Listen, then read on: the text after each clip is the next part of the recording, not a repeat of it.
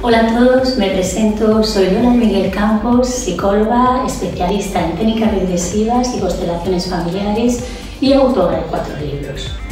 Hoy estoy aquí colaborando de nuevo con Espacio Público para hablaros del tema de los divorcios en época de pandemia.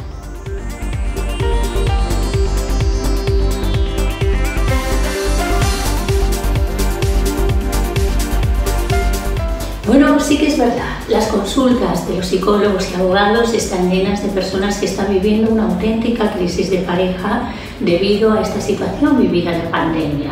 El aislamiento, el tener que convivir tanto tiempo en espacio cerrado y la cantidad de horas que nos hemos visto obligados a convivir con otras personas es lo que ha desatado toda esta oleada de divorcio.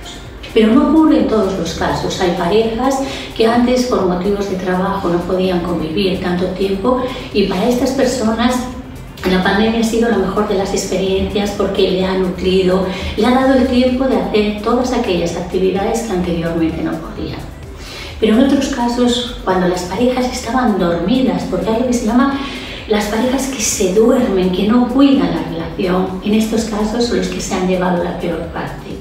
Cuando una pareja se enamora, le gusta todo del otro, pero a medida que va pasando el tiempo, va apareciendo la rutina, que es el peor enemigo de la pareja, y la gente se acostumbra a una dinámica que es la dinámica dormida, donde no se están dando cuenta de que la pareja está creciendo, de que cada uno de los miembros está creciendo, pero a veces no crece en la misma dirección.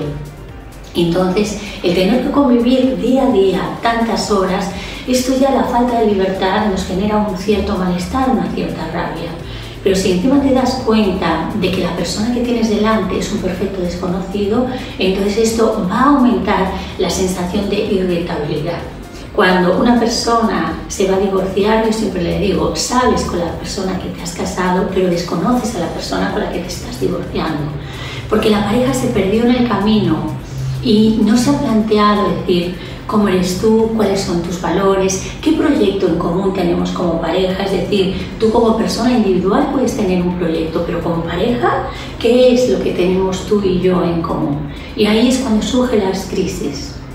Bueno, os voy a dar tres consejos que podéis aplicar para intentar salvar vuestra relación de pareja. No es tan difícil, simplemente hay que poner la intención de yo quiero salvar esta relación.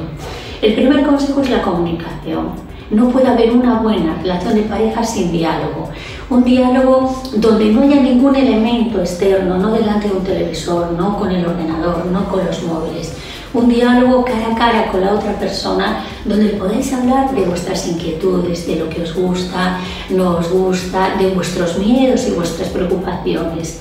El segundo consejo es no tengáis siempre la idea de mi pareja ya lo sabe Decir es el poder de la palabra.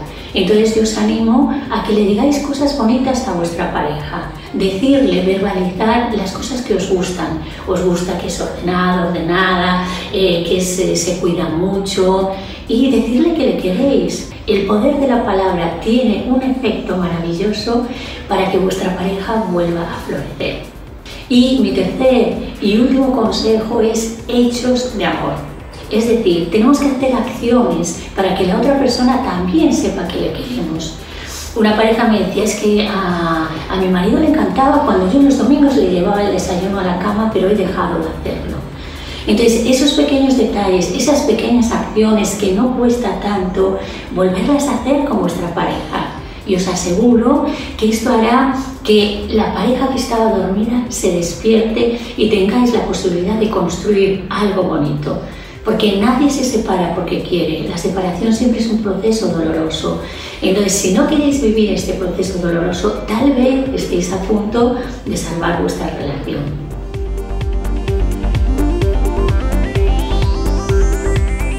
Bueno, estos son mis consejos para que podáis salvar vuestra relación de pareja y estaré encantada de volveros a ver en espacio público. Un fuerte abrazo a todos.